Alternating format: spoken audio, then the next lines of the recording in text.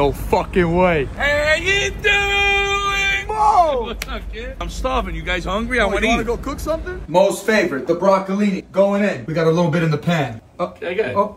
No way. Why not? How you doing? doing? Nobody does nothing. That's a real greaser. It helps with the dandruff. Turn in the pot. Let me hear it sizzle, Mo. knock, knock. Who's there? How you?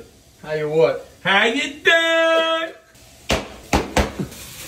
I should cook in jail for 50 guys. Get a little salt in there, bitch. Throw a little salt in there. Where's the pepper, Mo? You gotta say bitch. Pepper neck, bitch. Bitch. Bitch. Get these bad boys back in there. This ain't no Chef Boyardee over here. It's QCP. Take it easy, boy. Get in there with a semolina. How you doing? Mo, I don't think I should wear this outfit. Why not? They're gonna indict me for looking too good. Bon appetito, bitch. Nice, good. How you doing?